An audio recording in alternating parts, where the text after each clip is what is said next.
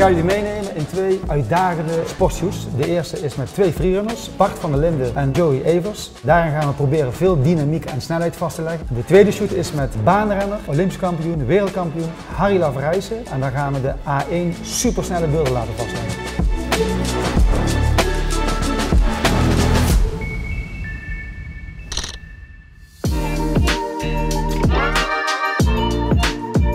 Ik ben Paul Raats, ik ben sportfotograaf. In deze video laat ik jullie graag zien hoe je beweging in sport fotografeert. Ik vind het prachtig als je, als je kijkt naar het genre sportfotografie, eh, dat je te maken hebt met, met, met, kracht, met dynamiek, met snelheid, met emotie van die sporter.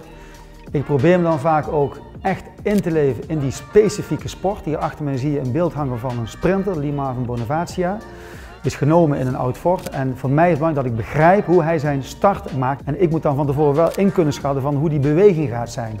En dan is het heel mooi om met een snelle camera ook die beweging echt te kunnen bevriezen en te kunnen vastleggen. Als sportfotograaf kun je natuurlijk uh, vanaf verschillende manieren, kanten, perspectieven, kun jij een sport uh, proberen vast te leggen. Iedere sport heeft denk ik zijn eigen mogelijkheden en uitdagingen. Je kan door het spelen met dynamieken, hoeken, hoogtes en lenzen kun jij je eigen persoonlijke beeld gaan maken.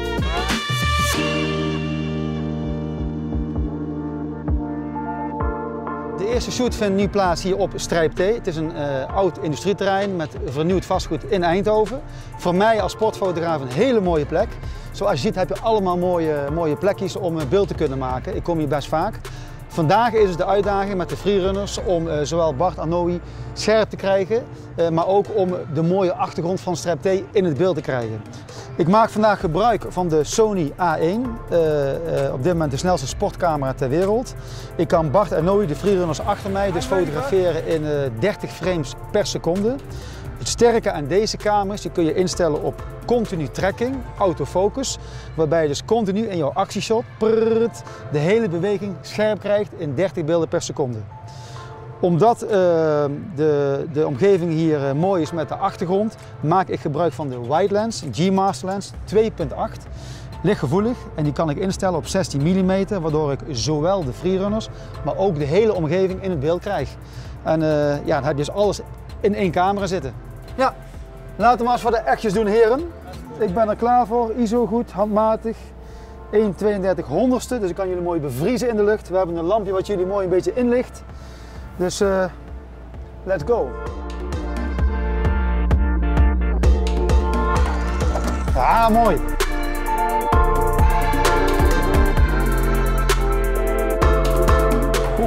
Ik vind hem heel mooi. Kijk hier maar eens in.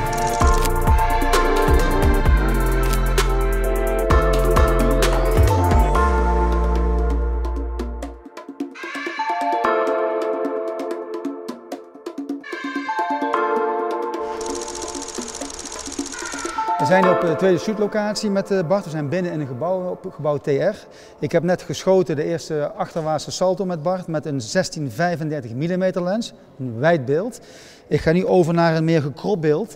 Dit is de, de Sony eh, G-Master 135 mm 1.8, waardoor we een, een, een, een meer intiemer beeld gaan maken met Bart.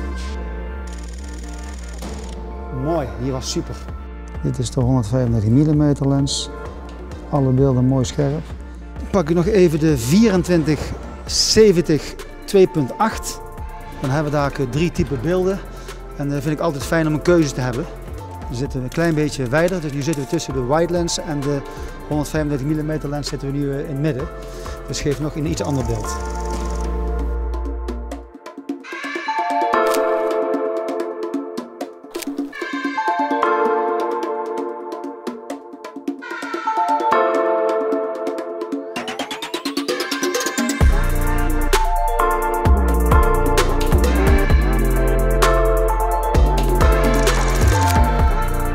We hebben net samen gekeken naar het beeld eh, met Joey. Uh, nieuwe locatie, we zijn een beetje ondergronds. Het is hier vrij donker.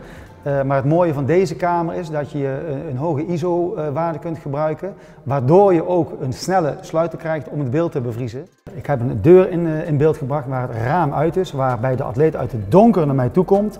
Waardoor ik een heel verrassend intiem beeld kan schieten. Ja, kom maar, ik ben klaar Joey. Mooi, heel mooi.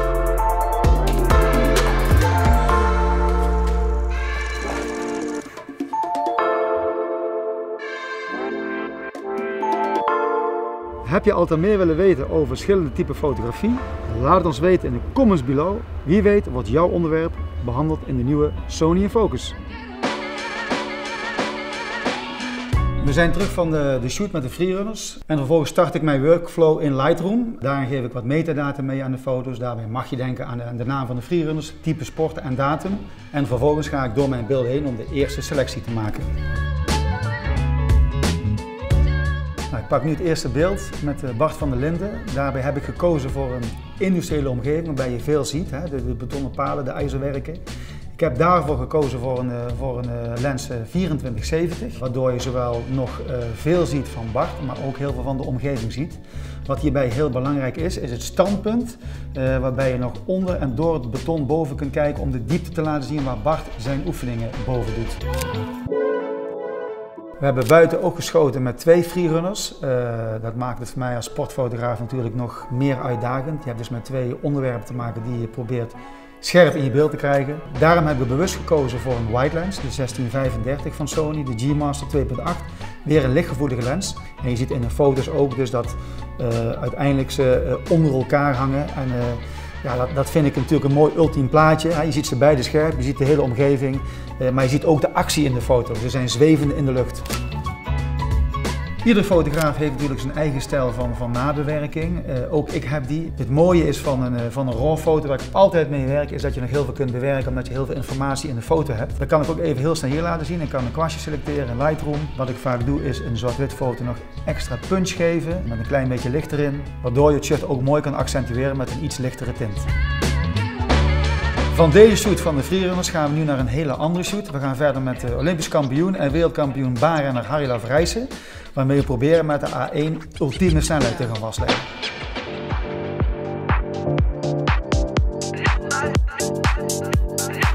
We staan hier buiten op strijp T in een uh, ja, omgeving met veel kleur, zoals je achter mij kunt zien.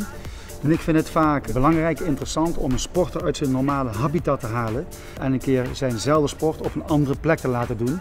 Waarbij je toch ziet wie het is, hoe goed hij is, hoe snel hij is, maar met een hele andere omgeving. Ik heb gekozen voor een laag perspectief. Ik ga dadelijk ook laag zitten als ik de foto ga maken met een 2470 lens. Uh, en belangrijk is om te combineren met het buitenlicht en met het studiolicht. En ik heb gekozen voor high-speed fotografie. Dus ik kan met de Sony 1 kan ik de atleet weer bevriezen uh, in zijn snelheid.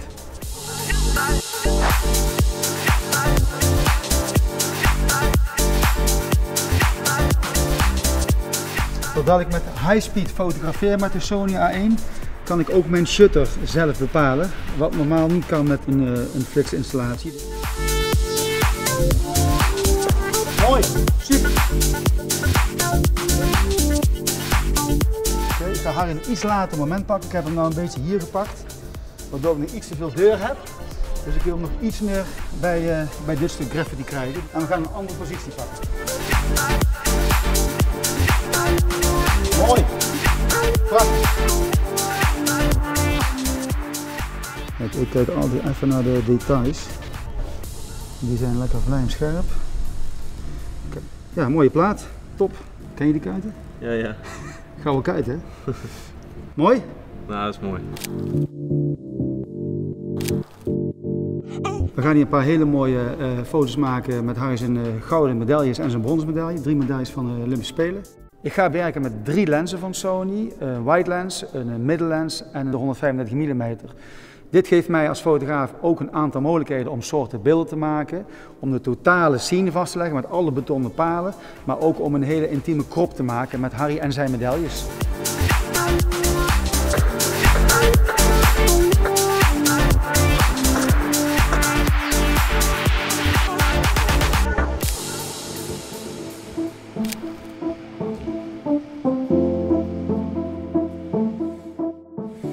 Heb de camera op trekking staan, volgenstand, nummertje 1. Dat betekent dat die beeld zo lang mogelijk blijft volgen.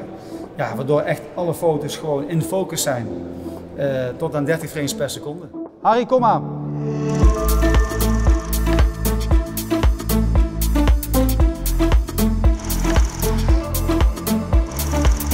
Ik heb net, dit is mooi, kijk eens. Ja. Dit is echt vet. Je hebt twee lijnen, lichtpartijen, de zon. Die is echt vet. Ja, die is echt mooi. Wat ik nu ga doen, ik ga nu uh, in tegenstelling tot een bevriezing, ga ik Harry uh, met een, sluitertijd van 1 40ste, dus een langzame sluitertijd, ga ik hem uh, toch bevriezen. Maar ik ga ook de achtergrond dynamisch mee laten doen, waardoor je een, een, hele blur krijgt in de achtergrond. Maar ook Harry die een klein, een klein tikkeltje van een onscherpte geeft, waardoor je weer een hele andere sfeerfoto krijgt. Maar wel een snelheidsfoto. Ja, nog een keer. Kom maar, ik ga je mee trekken.